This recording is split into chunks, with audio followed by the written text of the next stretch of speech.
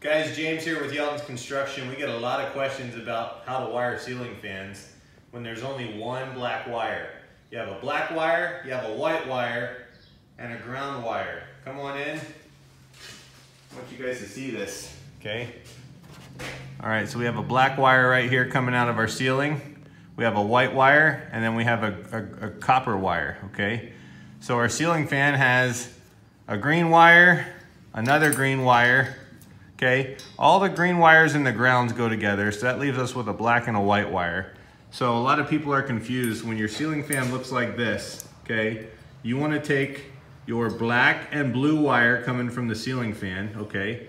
And you wanna hook the black and the blue to the black wire, okay?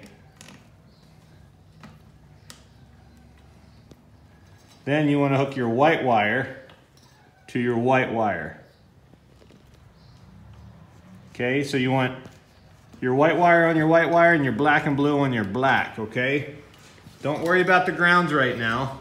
I'm not saying they're not important, but I am saying that they're not important. Okay, come on over here.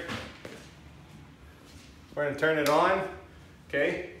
So, when you have one black wire coming out of the ceiling, you have to use your switches now. So we have our ceiling fan switch and our light switch. So we turn the switch on and we use these switches to control our fan and our light. Thanks for watching. Please subscribe.